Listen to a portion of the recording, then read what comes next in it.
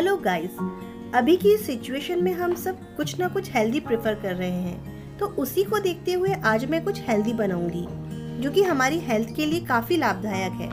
मैं यहाँ orange carrots का सूप बनाऊँगी। गाइस आपको पता है ऑरेंज कैरेट्स में काफ़ी मात्रा में बीटा कैरोटीन होता है, जिससे विटामिन ए बनता है, जो कि हमारी आईज टीथ और स्किन के लिए काफ़ी बेनिफिशियल होता है।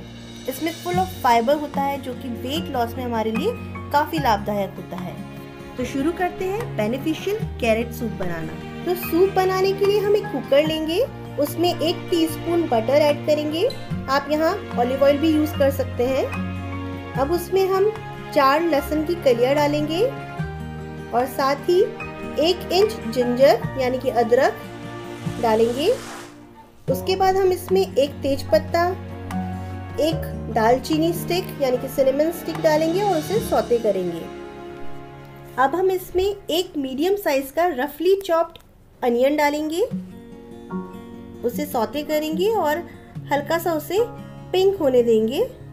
देखिए अनियन अब पिंक हो चुके हैं तो अब हम उसमें एक मीडियम साइज़ का रफली चॉप्ड टोमेटो ऐड करेंगे और साथ ही उसमें one and half cup carrot add करेंगे। यहाँ आप रेड कैरेट भी यूज़ कर सकते हैं। वो भी काफ़ी हेल्दी होती है। अब हम इसमें वन टीस्पून सॉल्ट ऐड करेंगे।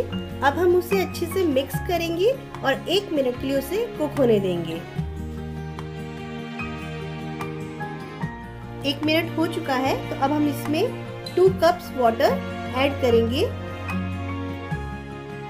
और उसे अच्छे से स्टर करेंगे। और कुकर का ढक्कन लगाकर मीडियम फ्लेम पर चार बेसन लेंगे। वेजीज अच्छे से कुक हो चुकी है तो अब हम एक स्ट्रेनर की हेल्प से पानी को स्ट्रेन कर लेंगे। और इसे अच्छे से ठंडा होने देंगे। अब ये अच्छे से ठंडा हो चुका है तो अब हम इसमें से बे लीफ निकाल लेंगे और इसको ब्लेंडर के अंदर डालकर ब्लेंड करेंगे। सिनेमन स्टिक को भी हमें निकालना है। और इसे अच्छे से ब्लेंड करेंगे। अब इस ब्लेंडेड मिक्स को हम कढ़ाई में डाल लेंगे फ्लेम को हमें लो ही रखना है। और इसके साथ ही हम पानी जो हमने स्ट्रेन किया था, उसे भी इसमें ऐड कर देंगे। अब इसे हम मिक्स करते हुए अच्छे से चलाएँगे इसके बाद हम इसमें one fourth teaspoon black pepper powder add करेंगे। ये आप ज़रूर ऐड करें क्योंकि ब्लैक पेपर एक एंटीऑक्सीडेंट की तरह एक्ट करती है। इसमें काफ़ी सारे मिनरल्स एंड वाइटामिन होते हैं, जैसे कि मैग्नीशियम कॉपर विटामिन सी जो कि हमारी हेल्थ के लिए काफ़ी बेनिफिशियल है।